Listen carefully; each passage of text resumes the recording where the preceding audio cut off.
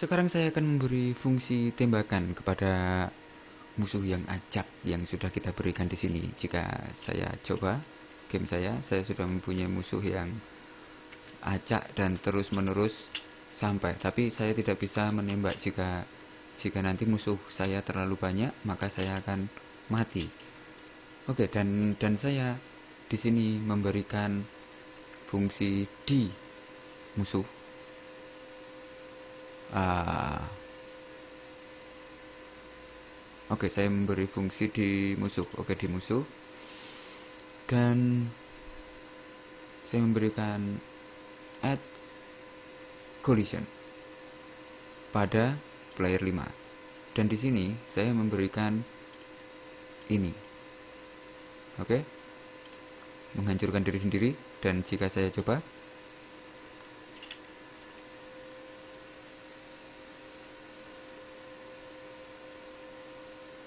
dan oke okay, sukses. Dan kita sekarang menuju ke peluru 5 di peluru 5 saya memberikan add collision. Lalu uh, musuh. Dan saya memberikan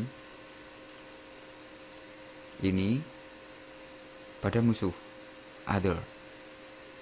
Dan saya klik OK dan saya coba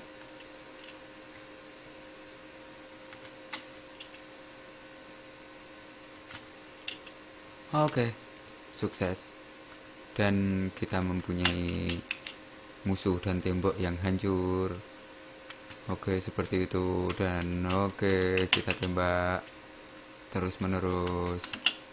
Oke, dan oke kita sudah mempunyai fungsi. Selanjutnya di tutorial uh, berikutnya saya akan memberikan semacam ini. Health bar. Kita belum pernah membahas health bar. Jadi kita bisa me memberikan box yang menunjukkan kesehatan pada pada pemain utama kita. Dan di tutorial ke depan saya akan membuat itu. Oke, pastikan cek terus asastudio.org karena saya akan menambahkan tutorial-tutorial yang lain. Sampai jumpa, salam.